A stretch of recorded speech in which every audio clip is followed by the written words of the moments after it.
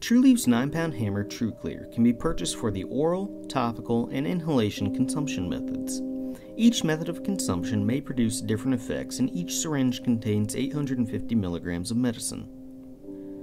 For the inhalation method, 9 pound hammer has a very earthy and smoky flavor, like a burning log.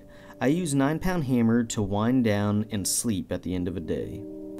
For the oral method, 9 pound hammer has a smoky taste. After around 30 minutes, I feel it kick in, relaxing my muscles and slowly lulling me to sleep.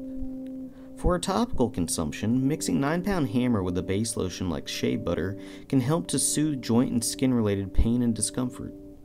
9 pound hammer stands at 85.6% THC and 2.5% CBG, which may help stomach related issues. As of spring 2018, Trulieve sells their 9 pound hammer TruClear for $60 a syringe. The next time you pick up your order, let them know the ChroniCals sent you.